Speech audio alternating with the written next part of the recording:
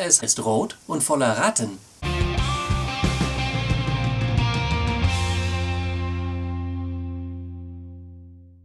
Entschuldigen Sie, können Sie mir sagen, wo es ein Kaufhaus in der Nähe gibt? Ja, gerne. Sie müssen einfach diese Straße entlang laufen. Nach drei Straßen steht ein Kaufhaus dem Rathaus gegenüber. Dankeschön. Das war sehr hilfreich. Entschuldigen Sie, ich suche die Post. Können Sie mir den Weg beschreiben? Hm, ich bin auch fremd hier. Vielleicht kann der Herr Ihnen helfen. Danke. Entschuldigen Sie, mein Herr. Ja, bitte. Können Sie mir den Weg zur Post beschreiben? Das kann ich. Sehen Sie den Biergarten da drüben? Ja, den sehe ich. Biegen Sie an diese Straße nach rechts ab, dann folgen Sie der Donaustraße bis zur Hauptstraße.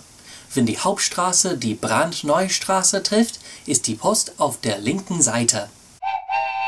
Entschuldigen Sie, wissen Sie, wie ich zur Siegessäule komme?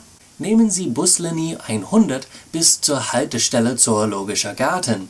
Dann laufen Sie nach Südwesten. Sie ist nicht zu übersehen. Hilfe! Wo ist das nächste Krankenhaus? Drei Straßen nördlich von hier. Wie komme ich zur Jugendherberge? Sie ist in der Steinstraße. Gehen Sie diese Straße entlang bis zur Kreuzung mit der Ampel. Dann gehen Sie nach links. Dann laufen Sie immer weiter geradeaus, bis Sie zum Bahnhof kommen. Nehmen Sie danach die U2 zur Stadtmitte. Dort steht die Jugendherberge auf der linken Seite der Straße. Können Sie mir beschreiben, wo das Rote Rathaus ist? Wissen Sie, wo der Fernsehturm ist? Ist das das große Gebäude mit dem Fußball auf einem Spieß? Ja, neben dem Alexanderplatz Bahnhof.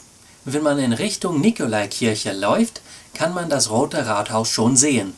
Und wie erkenne ich das Rote Rathaus? Es ist rot und voller Ratten. Aha, ich glaube, es heißt Rathaus, denn sie erteilen Rat. Da kommen zwölf auf ein Dutzend. Thank you for choosing to learn German with me. If you're looking to take your German learning to the next level, subscribe to this channel and get two videos each week from me. If you support this channel on Patreon, you can also get a copy of the script for every video I upload, along with a worksheet and an answer key. If you're just starting to learn German, check out my German for Beginners playlist here on the left.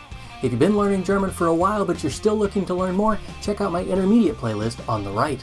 Danke fürs Zuschauen, bis zum nächsten Mal. Tschüss!